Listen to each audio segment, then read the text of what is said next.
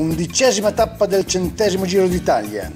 Dopo un secolo di attesa la carovana rosa arriva nell'Alta Valle del Savio. Partenza simbolica dal paese di Gino Bartoli, eh, scusate, Gino Bartali, Ponte Aema, ma realmente la tappa inizierà a Bagno a Ripoli, per concludersi in un altro bagno, Bagno di Romagna. In questo giorno appiccicoso di caucciù sono seduto in cima a un paracarro e sto pensando agli affari miei. Fra una moto e l'altra c'è un silenzio che descriverti non saprei. Oh, quanta strada nei miei sandali, quante ne avrà fatta Bartali. Quel naso triste come una salita quegli occhi allegri da italiano in città. Se Painted Black era un vecchio cavallo di battaglia dei Rolling Stones, la parola d'ordine degli abitanti del nostro comune è Painted Pink, dipingile rosa. Centinaia le cose, soprattutto biciclette, che sono state dipinte per la gioia delle ferramenta con quello che è il colore della maglia del ciclista più veloce.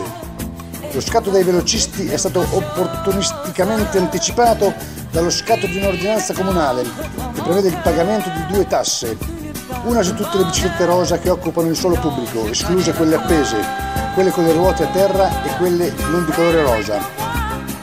L'altra tassa riguardante l'ombra proiettata dagli ombrelli appesa lungo le vie non prevede esclusione alcuna. L'impegno dell'amministrazione comunale, dei volontari e dei contestatori è senza sosta, ma come si dice in questi casi, l'hai voluto la bicicletta e adesso pedala.